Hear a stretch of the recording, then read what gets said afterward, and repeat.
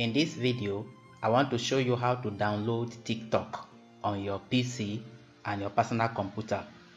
So to do that, go to, your browser and open a new tab. Type Chrome, Google Chrome Web Store. Click on enter. This is it.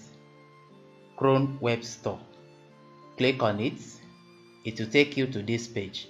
Then come to this search bar and search for TikTok.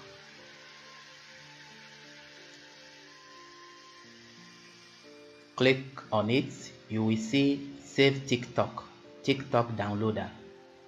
So click on it. Yes, you can see it here.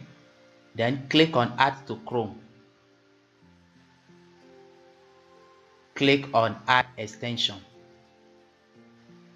Yes, it has been added come to this extension icon click on it.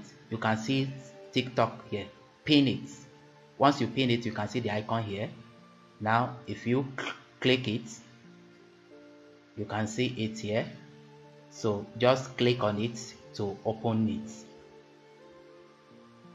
Yeah this is it. This is tiktok on your laptop. So you can see the interface can watch your video you can log into your account. And you can upload and you can view your profile. So this is how to download tiktok on your pc thank you for watching